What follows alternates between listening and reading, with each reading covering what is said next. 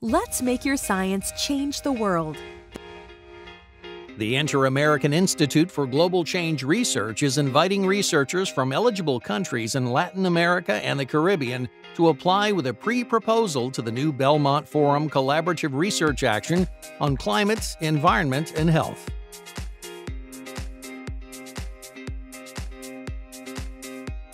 Each consortium must be eligible to receive funding from the Belmont Forum and must be transdisciplinary.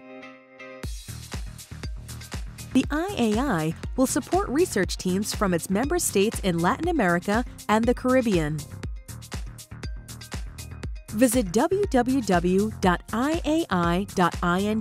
to learn about the conditions and requirements for applying.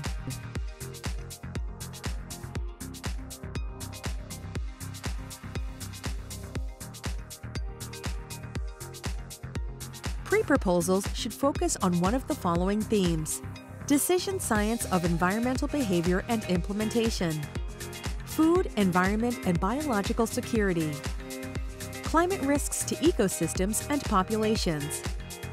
Remember to send your pre-proposal by July 15th of 2023.